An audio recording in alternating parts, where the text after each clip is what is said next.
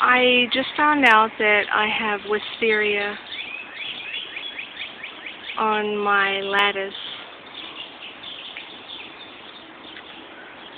And um, I'm pretty excited about that right now because I wasn't allowed to have wisteria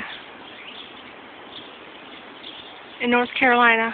And um, I have it and I didn't even know it. Exciting.